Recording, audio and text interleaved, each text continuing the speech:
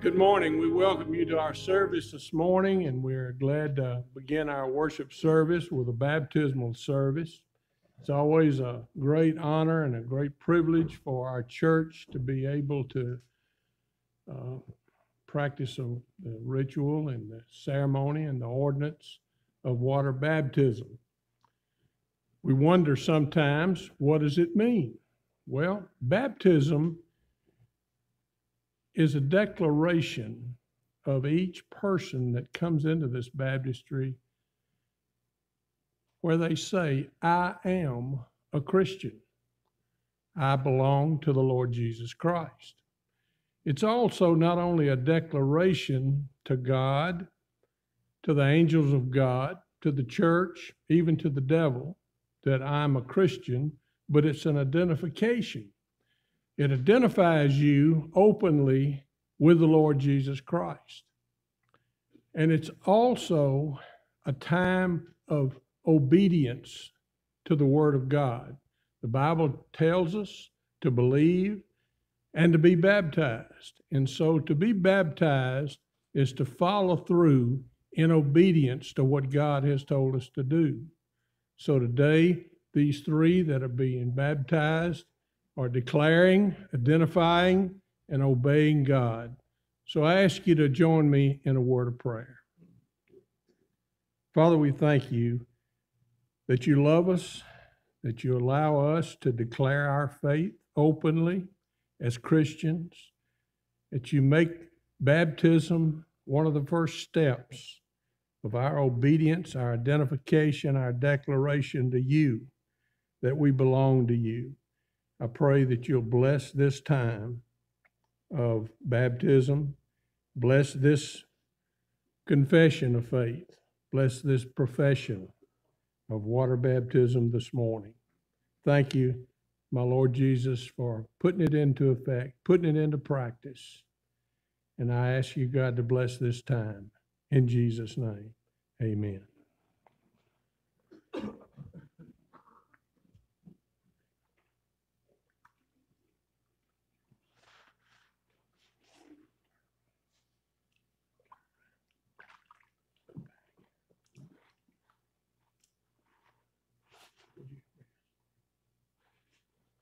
This is Ann Wallace Bishop, and she made a profession of faith to the Lord Jesus Christ, and she declares that profession of faith that Jesus has come to live in her heart. And Ann Wallace, says, I baptize you this morning, is an assurance that Jesus lives in your heart, that the rest of your life belongs to Him.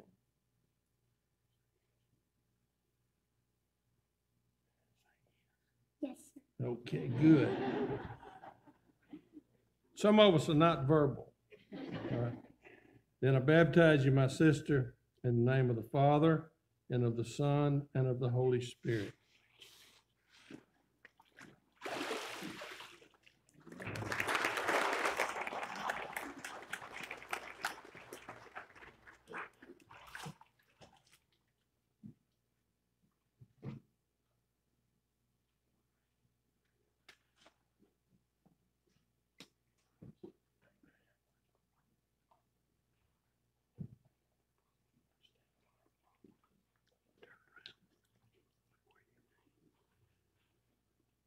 This is Weston Whaley. Weston came to my office after uh, asking his parents a lot of questions, wanting to make a profession of faith, wanting to know how to become a Christian, and we talked about a lot of things. And so today, Weston, as I baptize you, it is an assurance in your heart that you're Christian, that you know you're saved. Then I baptize you, my brother, in the name of the Father, and of the Son, and of the Holy Spirit.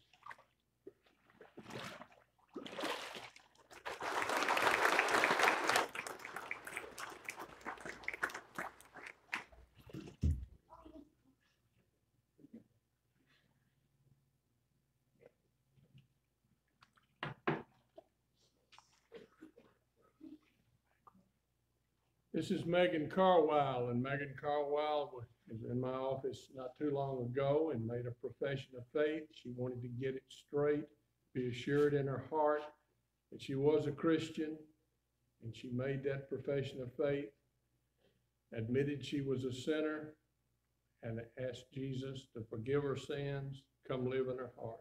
And now, Megan, as I baptize you today, is an assurance that your life belongs to the Lord Jesus Christ.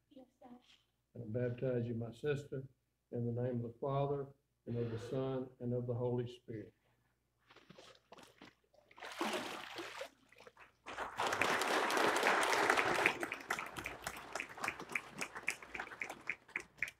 Join me in prayer again.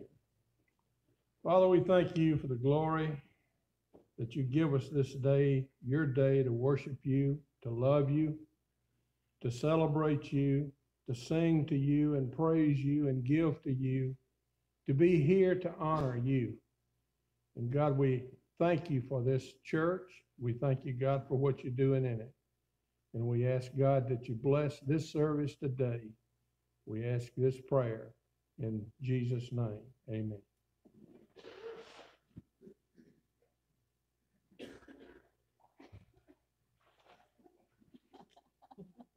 Up here in the choir done partied like the Red Sea. I, I kind of like that though. I know what it was. They y'all think they did that so y'all could see better and they wouldn't detract. No, it's because a lot of times when they get in there, their feet kick up and they go to kicking and they get wet. So they learn to to get out of the way. So uh, are y'all gonna squeeze back together? I wish y'all did. Y'all go make like an accordion sound when they all march in. Well, I just did, but uh, it wouldn't be as good as if they did it. But anyway, uh, want to welcome everybody here. This is a really good crowd here on the Lord's Day, so we're glad you're here. Uh, may have folks that are visiting today to just be part of this baptismal service. We welcome y'all, and what a special thing that see the Lord's uh, folks coming to the Lord and being obedient in baptism. So thank y'all for being here and, and being part of that. It, it's an awesome thing. A uh, lot of stuff in the bulletin, so, but I've got a couple of things I'm going to go over. This is uh, Vacation Bible School, June 20th through June 24th, be 5:45 each afternoon or each evening. Uh, there will be a meeting for all the volunteers that are going to work in VBS on May the 15th after church, uh, two Sundays from now. And uh, also 511, May 11th is the last night for Dig In and Be Bold for the kids on Wednesday nights. And so then that leads into this note right here, need volunteers for the summer Wednesday nights for our, for our kids or the children. Uh, and that'll be on Wednesdays at 6:30 and they'll start the summer program on May the 18th. So uh, get in touch with Susan or the church office, let anybody know if you're interested in helping with those Wednesday nights in the summer program. Uh, I've welcomed everybody, but I'm going to welcome Brother Harry Bryan. This is our Gideon Sunday here at Anchor Baptist Church, and we welcome Brother Harry because he is our Gideon. Uh, you know, there are Gideons here, there, and yonder, but he's our Gideon, and uh, we want to keep getting you back here every year, Brother Harry. You just from across the river, anyhow, right? So you're kind of like an Anchor person, Taylor person, but we're we're kind of claiming you here at Anchor. So pipe down before I, I, I may not claim you as anchor, but no, sir, we love you, Brother Harry, and you do a great job representing the Gideons. And uh, I hope when you saw a Gideon speaker, you didn't go, oh, it's a Gideon. But Brother Harry gives the word of God, and he, he does it with Gideon facts and figures, but uh, he presents the gospel as well. So that's why we are proud to have him with us on our Gideon Sunday. Uh, oh, yeah, yeah, yeah. Miss Janet, can you come here a minute? Come here, Janet. I didn't know this because, I mean, I thought she'd been playing our piano like two, three years. They said it's, come on, I'm not to do nothing. said she's been playing the piano for 10 years today. Will you vouch for that? Seem longer? I had, though, besides our being our church pianist, that she also is considered the assistant choir director, the choir boss. right, Richard? I got that from Richard. But uh, Janet, we love you and what you add to our service and how you have just taken up, blended in. Uh, we don't even mind that you bring Richard with, not that Richard, but your Richard with you.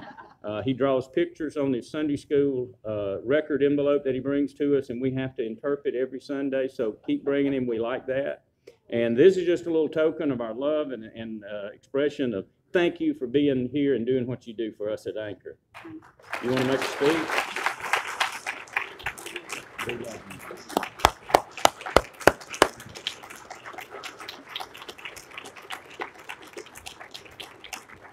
Good deal. Thank you, Janet. We love all of y'all. But here, one other thing, we're gonna we're gonna receive a Gideon offering uh, today after the service. So if you exit back out the foyer back there, uh, we'll have men with the offering plates, but they're going to be receiving the regular tithes and offerings. But we'll have a couple of ushers with open Bibles, and you can place any gift you'd like to give to the Gideons in one of those uh, open Bibles back there, and we'll get that to Brother Harry.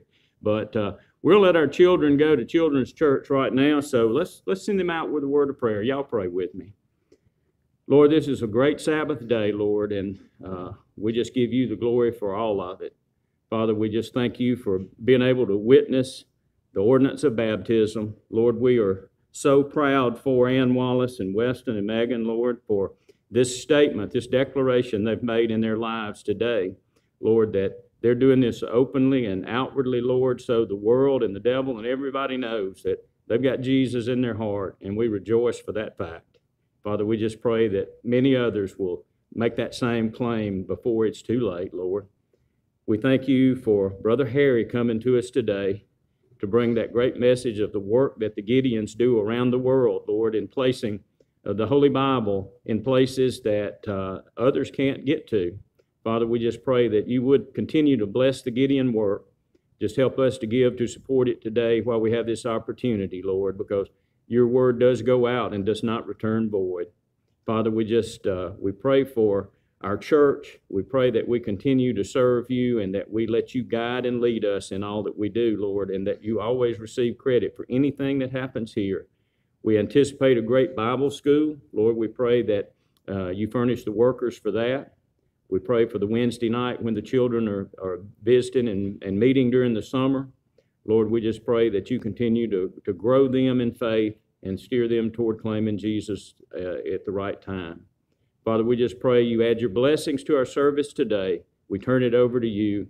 We ask you this all in Jesus' name. Amen.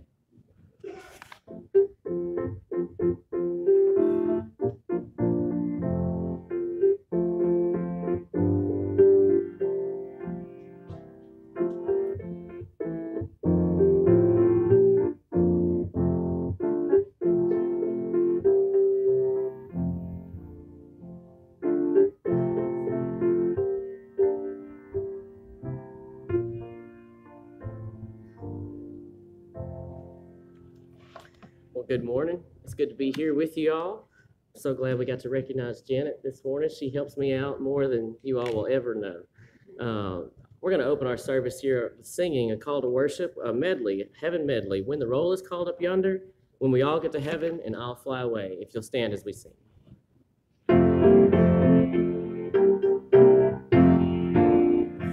When the trumpet of the Lord shall sound and time shall be no more, and the morning breaks eternal, bright and fair. When the saved of earth shall gather over on the other shore, and the roll is called up yonder, I'll be there. When the roll is called up yonder, when the roll is called up yonder, when the roll is called up yonder, when, the roll is called up yonder, I'll be there. Sing the wondrous love of Jesus, sing his mercy and his grace. In the mansions bright and blessed, he'll prepare for us a place when we all to heaven. What a day of rejoicing that will be when we all see Jesus. We're sing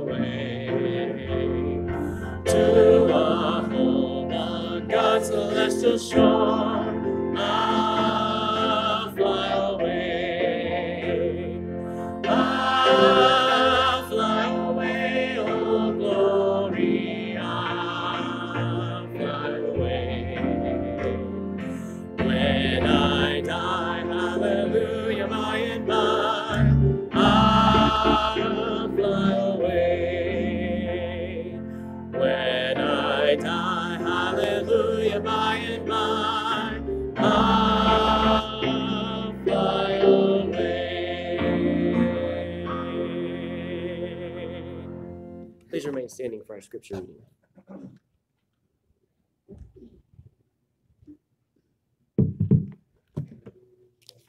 Our scripture today comes from Psalm 119, 130, Psalm 119, 11, and Matthew 24, 35. The entrance of your words gives light. It gives understanding to the simple. Your word I have hidden in my heart that I might not sin against you. Heaven and earth will pass away, but my words will by no means pass away. Will you join me in prayer? Dear Heavenly Father, as we see from our passages today, even a simple person like me can accept your word and keep it in our heart, and it will never disappear. But as you've said in the Bible, we have to be able to hear the word. And people like Brother Harry are those that spread that word across the world. We pray you would bless their ministry, Lord. Be with him as he brings our message today and keep us safe as we leave. Forgive us when we sin. In Jesus' name, amen.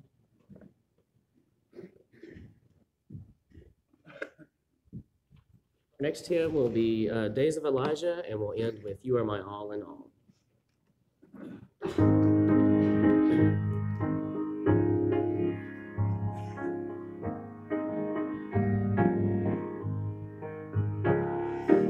These are the days of Elijah, declaring the word of the Lord.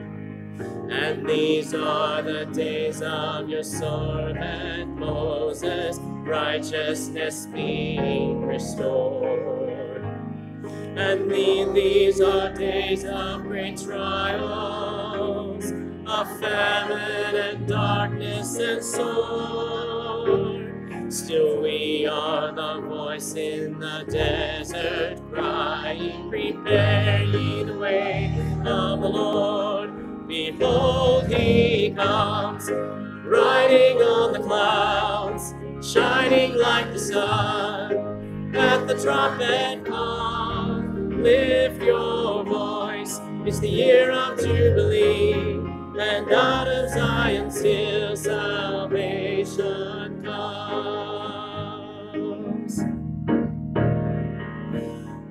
These are the days of Ezekiel, the dry bones becoming as flesh.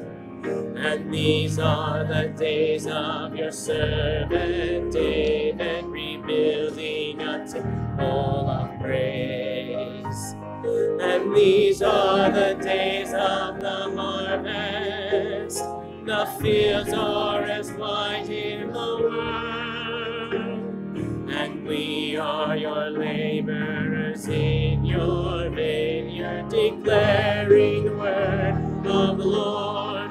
Behold, he comes, riding on the clouds, shining like the sun. At the trumpet call, lift your voice. It's the year of Jubilee, and out of Zion's hill salvation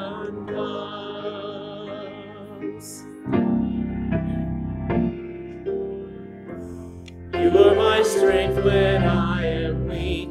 You are the treasure that I seek. You are my all in all. Seeking you as a precious jewel, Lord, to give up, I'd be a fool. You are my all in all.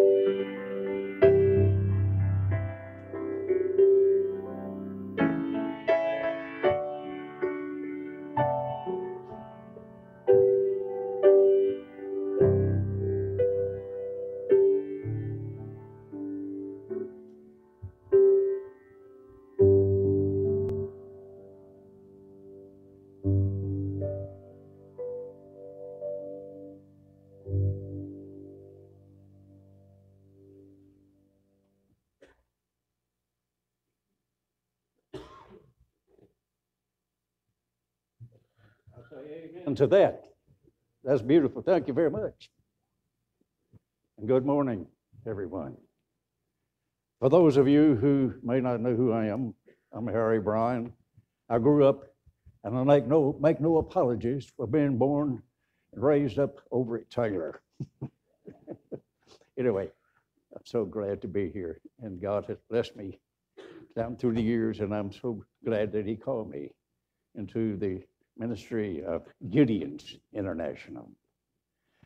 Tom Moore had finished making an estimate for a roof for the doctor's office building. And he and the doctor were talking when Tom looked over and spotted a Gideon Bible on the doctor's desk. And he said, You know, that Gideon Bible saved my life.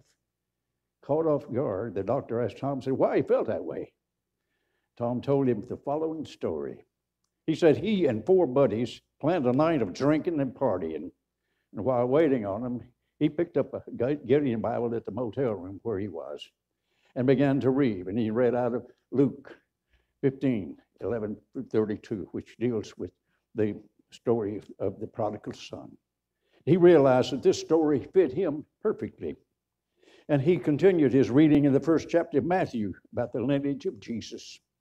He read John 3 16 through 17. When his buddies knocked on the door, he never answered. Rather, he chose to stay in his room and continue reading God's Word. Later, there was a knock on the door, and when he opened it, he saw two North Carolina state troopers who asked him if he knew these young men. And they repeated their names to Tom. And Tom asked him why were they inquiring about his friends. They told him that his friends had been involved in an accident. And the trooper then told Tom, they're all dead. Tom said the only thing he remembered that was taking that Gideon Bible from the motel room that night. He said he was still in shock and disbelief when he walked into a little country church that Sunday and he turned his life over to Jesus Christ.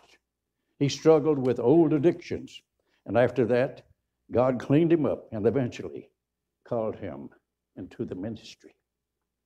When the doctor asked Tom about what happened to that Bible, Tom told him that he still reads it every day. That's just an example how God can take a broken life and take people like Tom, people like me, and save them.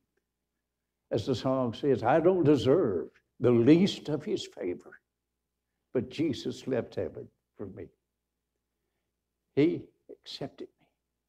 I haven't done anything but be evil and be a sinner. All of us have sinned. And the Bible tells all have sinned, fallen short of the glory of God. Every one of us in here needs Jesus Christ. And I am so happy to see those three young souls be baptized this morning. That's what it's all about. And thanks so much. That's great. And that's just a sign of somebody in this church is working and they're praying. And you pray for those people that are lost and pray for me as I tried to do Gideon message this morning and share with you how God has blessed the Gideons International. You know, we have been in this business of Gideons have of distributing Bibles for 200 years now.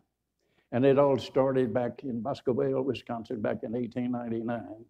And um, 98, in fact, in 1899, there were three guys. And soon in 1908, uh, a Presbyterian minister decided uh, that uh, he uh, would, thought it would be a good idea if his church, Presbyterian church up there in that part of the world, would uh, make it available for, for people who, travelers, as they called them, to have a, a Gideon Bible or a Bible to read in the hotel or motel. They didn't have motels back in those days, there were hotels.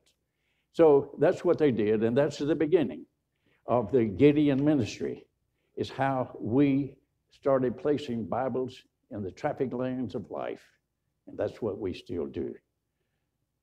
Strangely enough, that uh, some of the countries that we have been able to distribute God's word in have, have shut the, the, doors to us and they don't let us in there anymore. But uh, God is still working and He's still blessing us. More than 4 million confirmed refugees now have fled the neighboring countries over there where all the the chaos is going on, and 6 million to remote parts of Ukraine. Over 100,000 scriptures have been delivered to members in surrounding countries with the potential to distribute, distribute many more as the need is so great.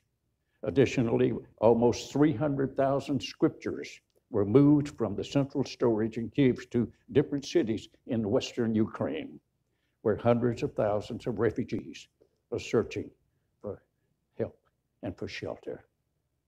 You know, that's a sad thing that we need to pray about. We need to pray for those people.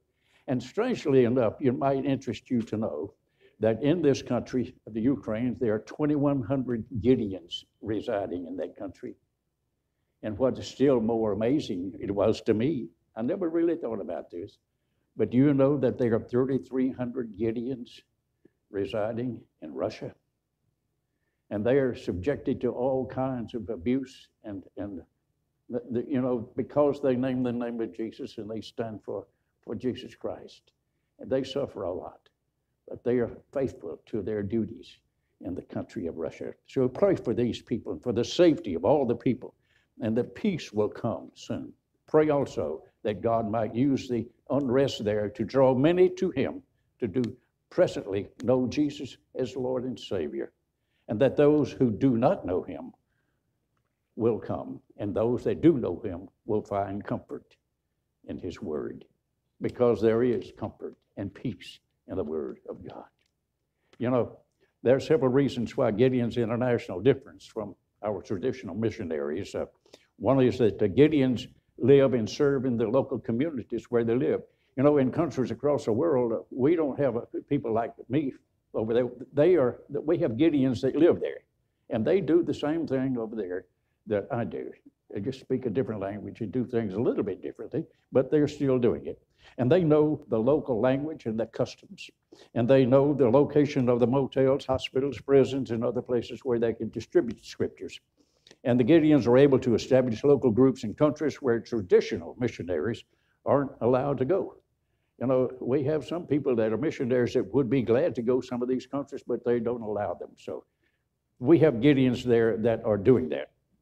What do we believe as Gideons? I've shared this many times with you, and you probably remember some of it, some of you may not. But here's what we do the Bible is what we believe is the inspired, infallible, inerrant Word of God. We know that Jesus Christ is the eternal Son of God and have received Him as our personal Savior. And we're men who endeavor to follow Him in our daily lives and men who believe in the endless lake of fire we are men who accept the biblical standard of marriage between one man and one woman. We're men in good standing with an evangelistic church or congregation or assembly. And also, we are men who participate in the activities of the camp. There's an ongoing emphasis of fulfilling the seven, seven spiritual objectives, and here they are. We are men of the book. We're men of faith. We're men of prayer, men of a separate walk, men with a compassionate heart, and men who witness and men who give. We give ourselves, we give money to the Gideons International, and that purchases scriptures. You know, God has blessed this ministry for 120 years, yet the history of the Gideons International reveals that in our formative years, the ministry was not about scripture distribution, strangely enough. Its primary focus was this a man who is before God and the strength and the power of his testimony Christ. Why were we formed as a ministry? We were formed to help Christian business and professional men maintain a strong testimony for Christ.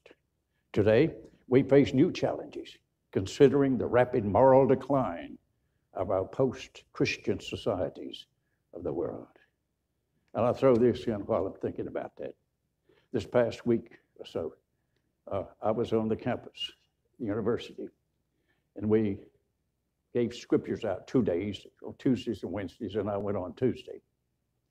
And that had been, I guess, probably three years since, uh, uh, Brother Gerald, since we were able to do a distribution because of the pandemic and all of this stuff. And over that three year period, I observed a decided change in the attitude of those people on the campus and the students. And I observe in what I think It's what Scripture tells us in the, in the end times. There'll be a great falling away, and I'm observing it every day. You observe it in your churches. Thank God. This church hasn't fallen to that. But I have spoken in churches where you look out over the congregation, it's like looking at a lumber yard with so many empty seats. And then they tell you, well, we've been afraid of the pandemic, we can't do that, but it doesn't affect their going to Walmart. And they do everything else. That's just a lame excuse. But it's just a part of what the scripture tells us, I think. In the, in the end times, there'll be a great falling away. And I think, Brother Gerald, that's what we are in right now. We're at the beginning of it. And even in our government, they have made concessions to people that we don't even want to associate with. And they had made this okay for all of these things that they put a stamp of approval on that I don't approve of as a Christian, as a citizen of this country.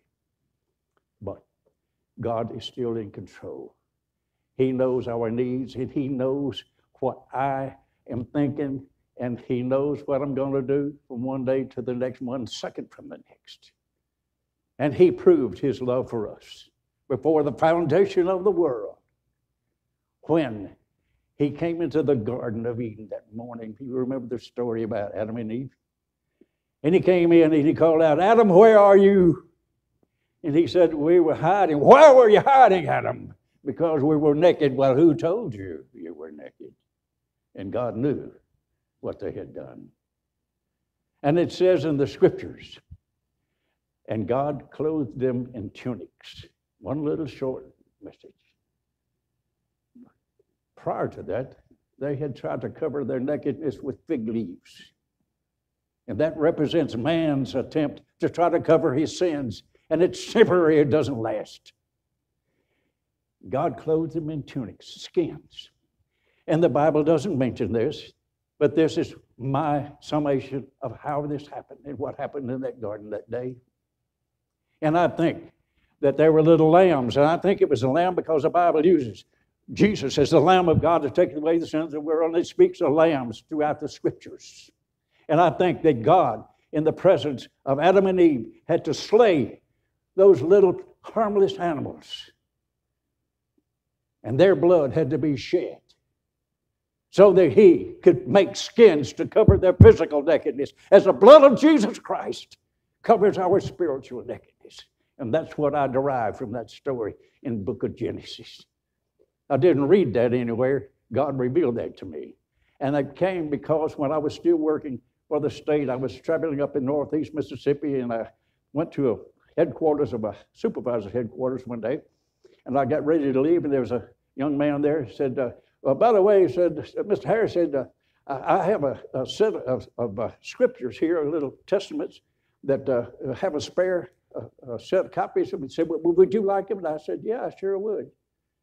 And he was telling me about a little preacher, this Pentecostal preacher was doing a Bible study at his church. And he said, and he said that uh, he made the statement, Brother Gerald said, and God created the first blood sacrifice. And that's where I got the idea that I just shared with you about the Garden of Eden. Those skins just didn't disappear. Something had to die. And then it says in Hebrew, according to the law, almost all things are purged with blood by the shedding of blood. There is no remission, no forgiveness for sins. And that's what Jesus did. He died. Save folks like me, folks like you. For the foundation of the world, he came to seek and to save that which is lost. You know, uh, I'd like to share another uh, one of my testimonies with you. This is one that I just got here recently, and this was one was issued by a, a gentleman from Ger- Germany. He said, "I was working for the National Health Department when the Gideons came to visit in 2011.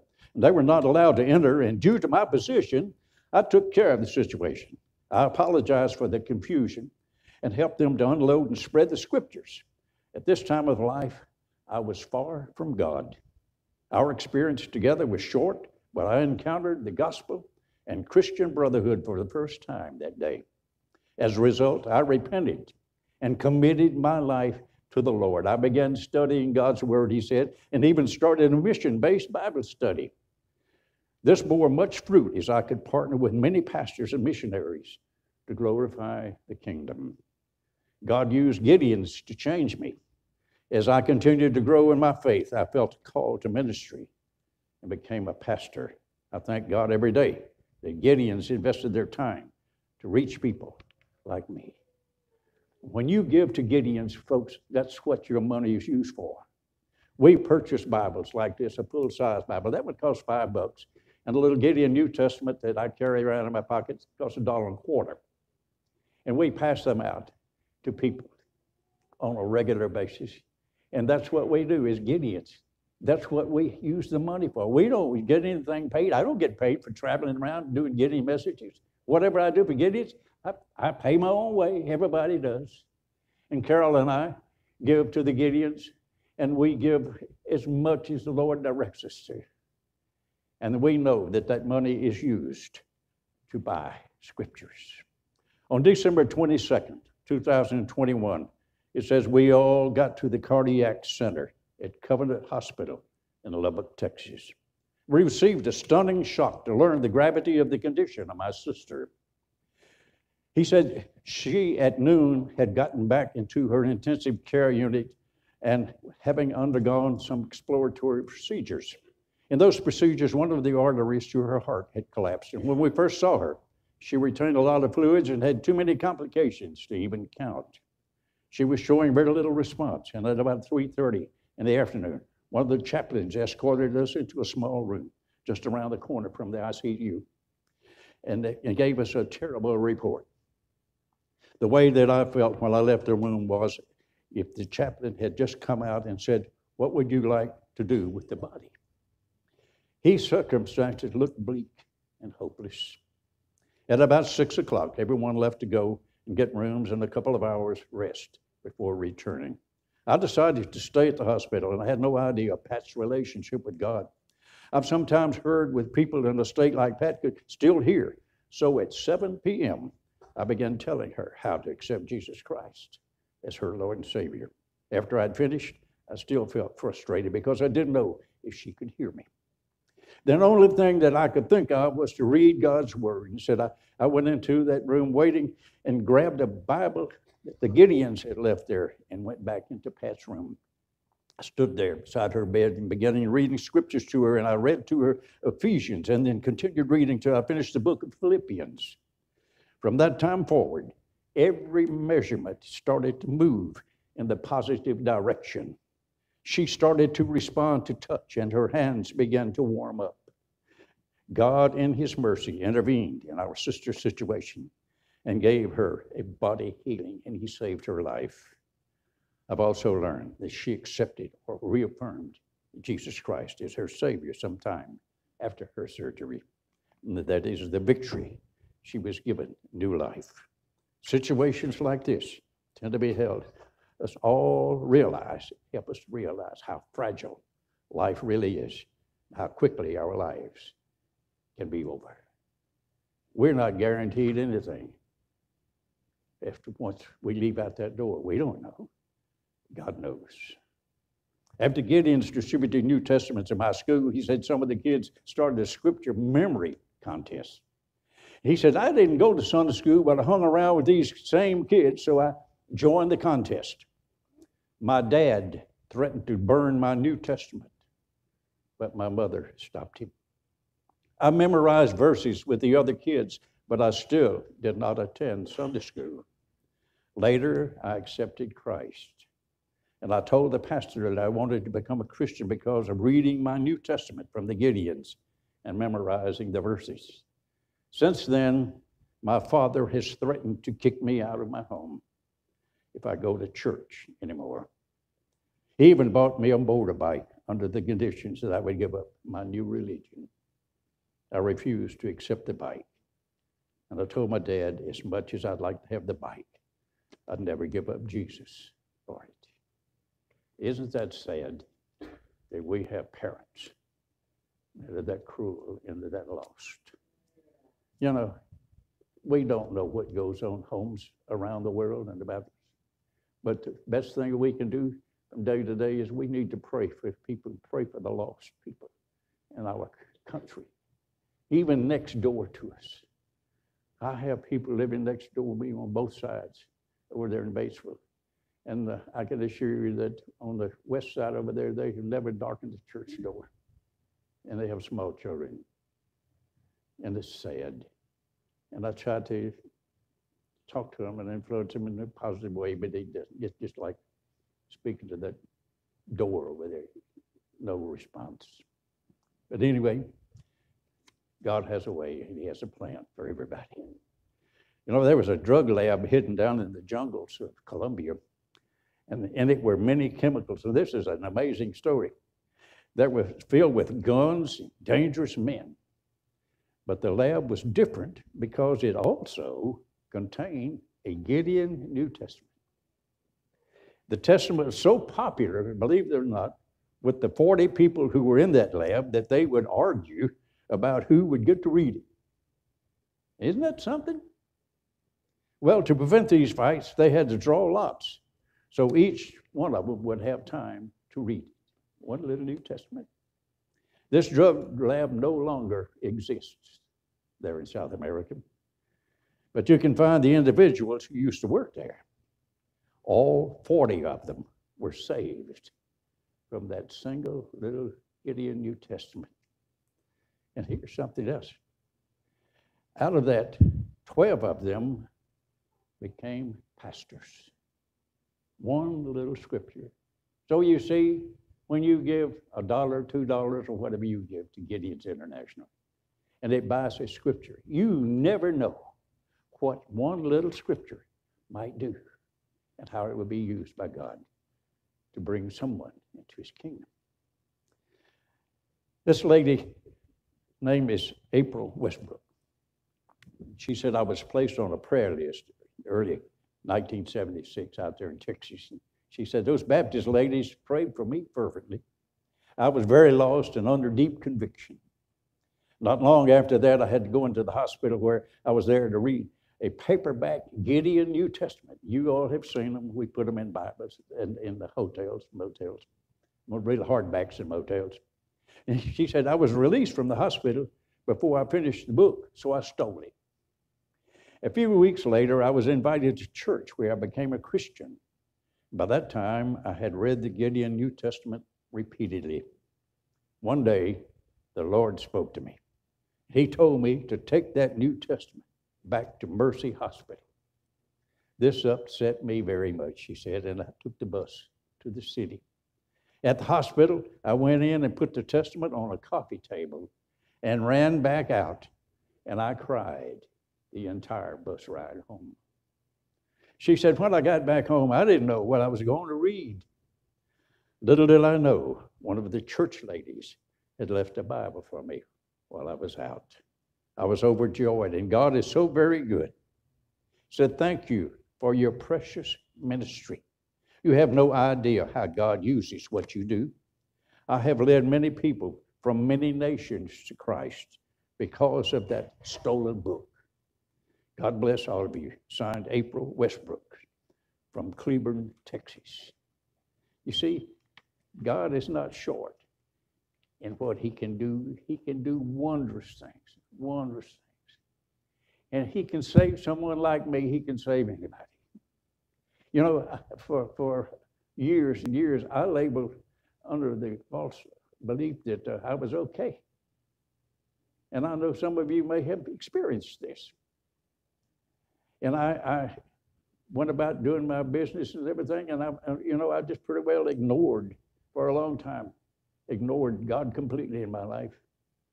And I lived in a way that I, I abhor, and I'm, I'm totally ashamed of it better than 20 years ago, when I was still working as an investigator with the state, I was driving on Highway 315 at the northern end of Panola County, and it goes over to Highway 3. And uh, I was working a case over there and had to cross over into, over into uh, Quitman County. And uh, there's a little creek that runs under Highway 315 over there. It's uh, south and uh, south and east of uh, a town over there in Crenshaw in Panola County called Indian Creek. Brother Gerald, as I crossed Indian Creek, uh, I had my car radio tuned to a 640 in Memphis. It's a Christian station up there. It's AM 640. And there was a, a preacher, ironically, this preacher, he lives out in Texas now, but he was born and raised in Laurel, Mississippi. And he was preaching a message that hit me. I'll never forget it.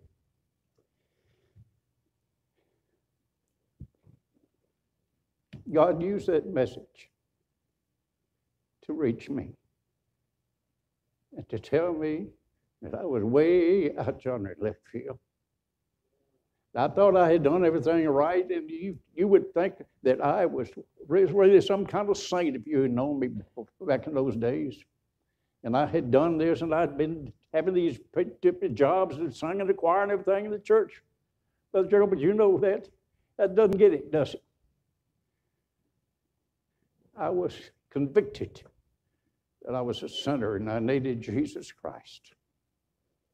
And I prayed and accepted Him. Going down Highway 315. And since then, my life has not been the same. Not to say that I don't have problems, they do, everybody does. But maybe there's somebody here today who you maybe not be maybe not sure of, of your salvation. But those three that were baptized this morning is proof God loves you. And that water is a sign that He washes away your sins. And He washed away my sins and He forgave me. And it still haunts me a lot of times. Maybe you do too. You think back. How could I have thought this? How could I have said this? Why? How could I have done this? And I'm reminded.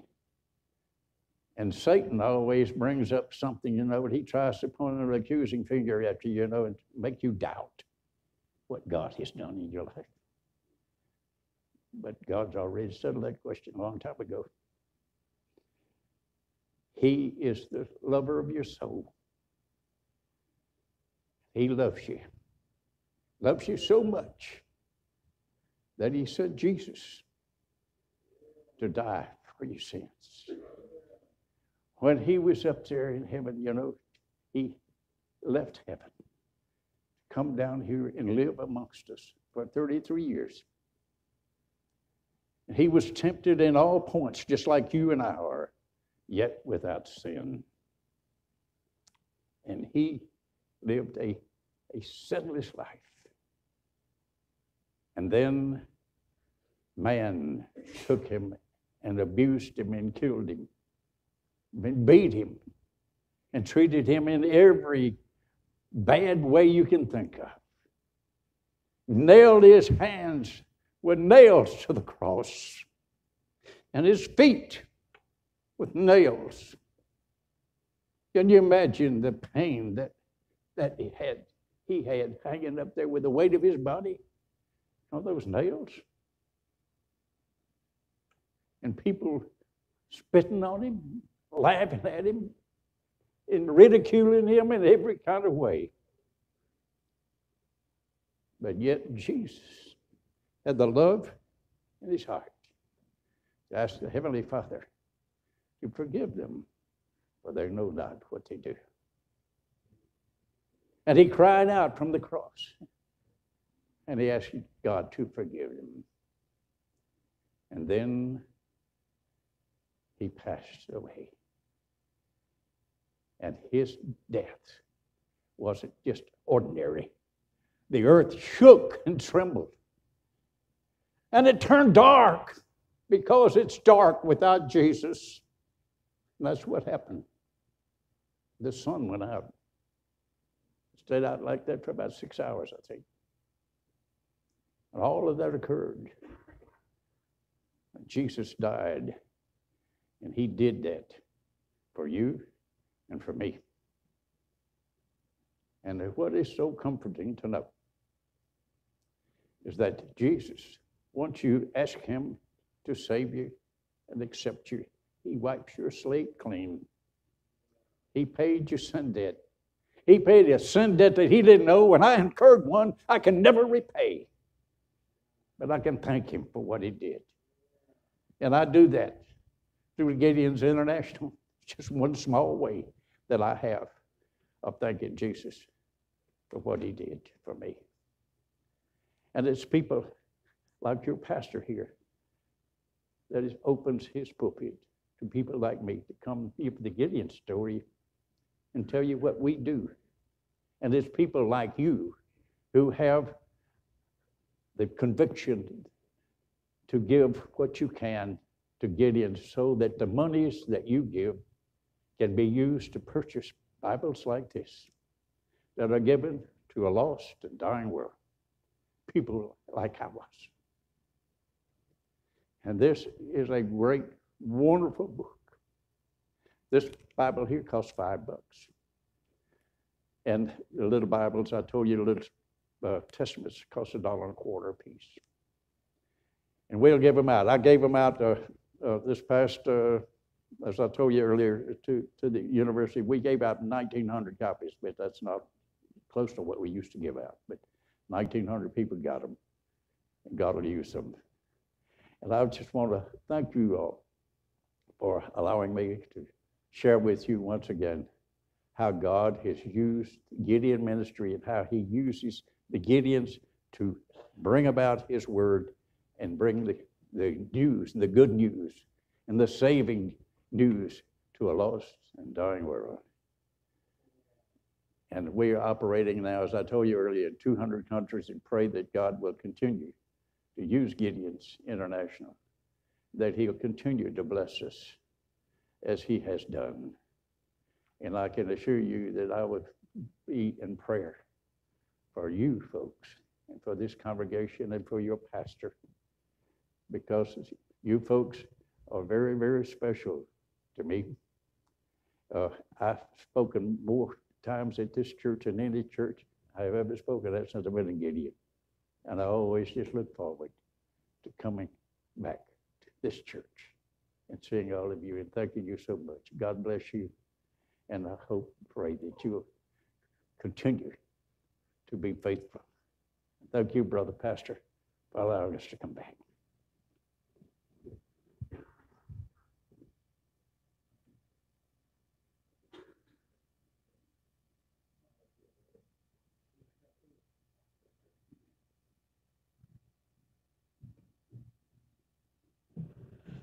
I want to thank Brother Harry for being here with us. He's our Gideon. We have him every year. We'll continue to have him as long as he's able to come and willing to come. He's presented to you some testimonies of how God uses the Gideon organization. The Gideon, Gideon organization loads God's gun. The, the Bible is the Word of God, it's the sword of the Spirit. It contains in it the power to change people's lives through the gospel of Jesus Christ. And as we allow our lives to be changed by the Word of God, and it's never changed outside the Word of God, we need to make sure that we pass that Word on. And the way we do that through the Gideons is gifts. So I urge you to be generous with your offerings, with your donations to the Gideons today.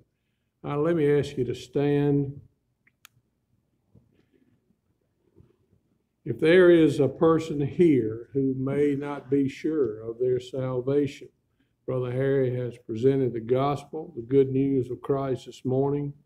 And let me give you the opportunity to receive Christ today.